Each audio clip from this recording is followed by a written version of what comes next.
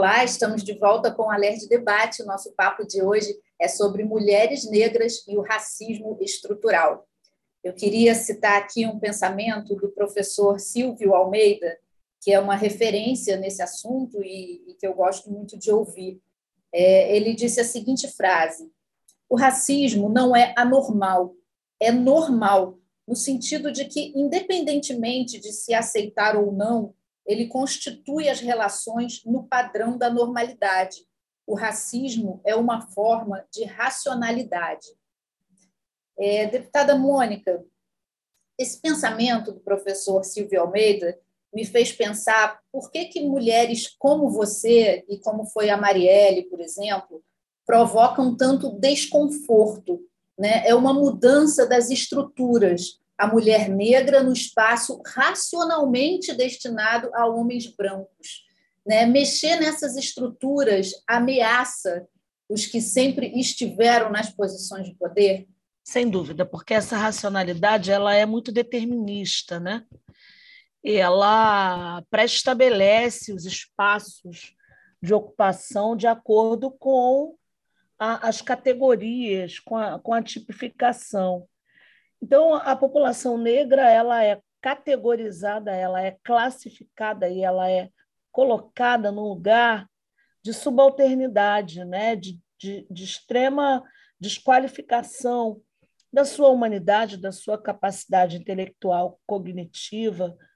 Então, é, é, esse, esse, essa organização da sociedade a partir de um sujeito né, ideal típico, ou seja, o tipo ideal do sujeito mundial, né, que é um homem branco, europeu, cis heteronormativo, atrelado à cultura judaico-cristã. Essa é a norma, essa é a via, é, esse é o paradigma, esse é o modelo. Né? Quando você olha para a população é, negra no mundo, ela é tipificada como quase selvagem, né? Essa, essa é a, a da, na hierarquia civilizatória, né? Barbárie, né? A gente está na, selva, na, na selvagem, na categoria selvagem. É uma, uma, uma dificuldade enorme deslocar esses, esse elemento da sociedade humana, a mulher negra, para um lugar que é pré-determinado para esse modelo. Isso des desestrutura, literalmente, isso desconfigura, usando uma linguagem mais jovem, né, Kelly? Como a Mônica falou.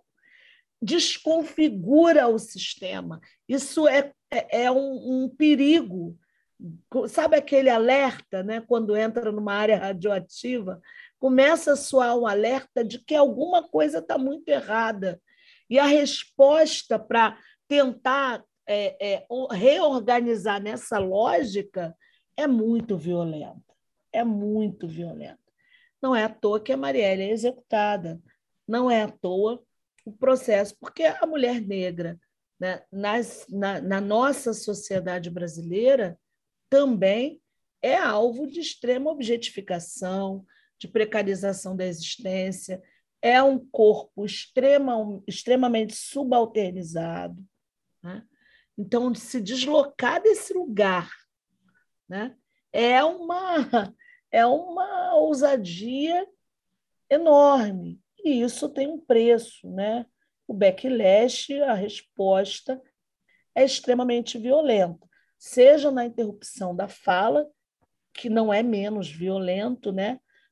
Mas é uma das formas de violência até um, quatro tiros na cabeça de uma mulher negra parlamentar eleita né, na, na, segunda maior cidade, na, no segundo maior estado, na capital do segundo maior estado do Brasil, em uma capital que ainda tem capitalidade, ou seja, a capacidade de reverberar para o mundo inteiro tudo que acontece nela, no centro da, na, dessa metrópole. Né? Por quê? Porque a, a, a Mônica, já finalizando a minha, minha resposta, falou muito bem, lembrou muito tanto a Neuza Santos Souza quanto a Lélia Gonzalez desse deslocamento. Quando você tem esse elemento né, que acende de alguma forma e se desloca desse lugar, ele é alvo de uma extrema violência, porque ele está desconfigurando, ele está. Alguma fissura nesse sistema foi detectada ali e é necessário que se contenha. Obrigada, deputada. É, Mônica, é, a gente sabe que o racismo ele se reproduz ao longo dos anos e dos séculos, mesmo que a gente sempre ouça quase todas as pessoas: eu não sou racista, eu não tenho nada contra os negros, eu tenho até um amigo negro. Se todas as pessoas, ou quase todas as pessoas, repetem essas frases que eu acabei de dizer, como que o racismo se reproduz? É como a deputada Mônica Francisco falou muito bem anteriormente, e a Kelly também, isso daí está é, é, é, tá estruturado dentro da nossa sociedade. Por mais, por mais, tem sempre essa fala, pô, eu tenho uma amiga que é uma pretinha, pretinha, mas ela é legal pra caramba. Isso daí é, é, é, é muito difícil. E a gente não sabe, como a deputada Mônica falou, a resignificação de, disso daí. Então, isso daí é, é, é, um mecanismo que a sociedade, isso daí vem, vem pelo através dos séculos, entendeu? E dizendo exatamente qual é o seu lugar. Porque para esta sociedade que nós vivemos hoje em dia, o seu lugar é até aqui, entendeu? É, ou você vai ser nada, enfim, você vai fazer só o, o, o, ensino médio, você não pode passar disso daí. Por que, que há o programa de governo em retirar o, o de retirar não, de não mais apoiar as políticas públicas para os estudantes através de cotas, através de outros programas, para ir para é, estudar o estudo profissionalizante. Por que isso? Por que está voltando à baila essa história? Há 30 anos atrás, isso daí tinha sido já, é, não vou dizer disperso, mas não havia é, tanta essa a questão do, da população. Aí é a, a, a forma que a, a, não a sociedade, mas sim o governo tem de poder precarizar, de nivelar todos os pretos e pardos, que é colocando nesse viés. Olha, meu pretinho, é muito bom.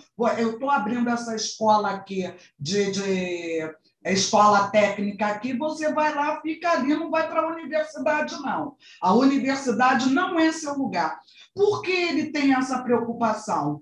Porque a universidade nos faz pensar. Você passa a, você passa a ter outro tipo, tipo de convivência, você aprende a ler, eu vou dizer por mim, Mônica, mulher preta e tal, eu aprendi a ler que eu fui a primeira, a única negra a estar na minha turma na universidade. Eu entrei em 1988, não conto mais a minha idade. Então, é, eu era a única preta, é, era sempre assim, eu era sempre a única, sempre a única, sempre a única.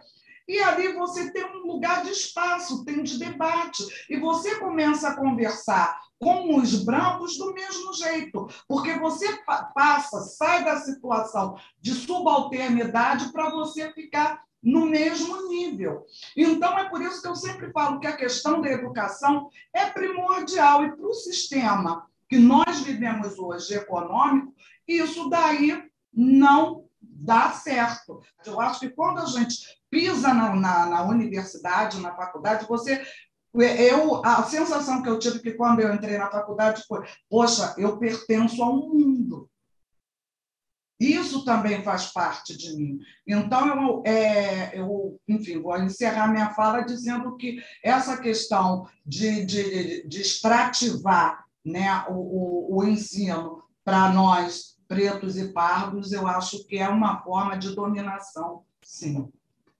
Obrigada, Mônica.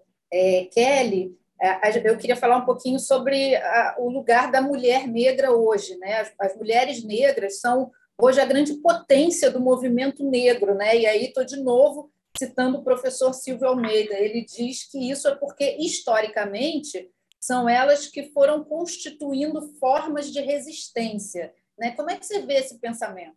É, eu vejo esse pensamento extremamente real, né?